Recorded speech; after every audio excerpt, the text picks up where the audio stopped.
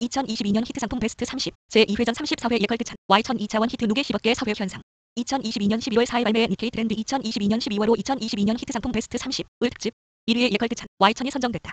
22년 4월경부터 전국 매장에서 입하할 때마다 순간 증발하는 사회 현상이 되어 누계로 10억 가까이 팔렸다. 히트의 원점에 있는 것이 판매원 야쿠르트 레이디에 의한 꾸준한 풀뿌리 활동. 실제로 사던 사람이 수면 개선에 효과가 있다고 느끼며 반복 사는 흐름이 태어났다. 2022년 히트 상품의 1위는 Yakult천과 Y천.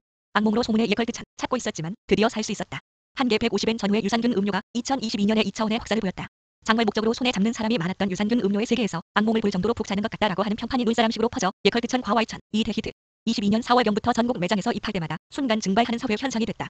19년 10월에 지역 한정으로 발매를 시작한 이래 누계로 10억 개 가까이가 팔렸다.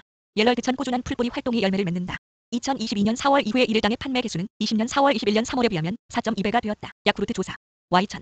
예컬드천 Y1000의 특징은 동사가 과거에 발매한 야쿠르트 시리즈에서 최고의 폐암률이 되는 한 개당 1000억 개의 유산균 실로타 균주가 들어있는 것에 있다. 100ml들의 예컬드천의 경우 이것은 제품명의 유래가 되고 있어 1999년 발매 야쿠르트 480ml로 400억 개과 비교하면 1ml당의 유산균량이 2배.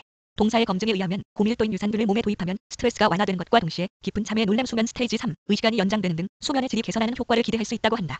숙면 시간과 숙면도가 증가하여 수면의 질이 향상 숙면 깊은 수면 시간 숙면도 델타 파워 히트의 원점에 있는 것이 당초 전개한 판매원 야쿠르트 레이디에 의한 꾸준한 풀뿌리 활동이다.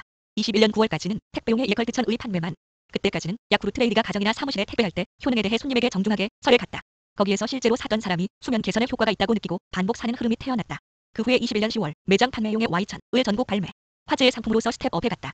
수면 효과로 Yakult천 Y1000이 일약 사람들의 주목을 모으는 계기를 만든 한 사람이 탤런트의 마츠코 디럭스다. 한 버라이어티 프로그램에서 22년 4월 예컬드천을 지속적으로 마시게 되고 나서 잠의 질이 개선되었다고 발언. 영향은 크고 프로그램 방영의 다음 주에 9월에서의 검색량이 급상승. 거기에 박차를 가한 것이 SNS 등에서의 악몽을 본다는 소문이다.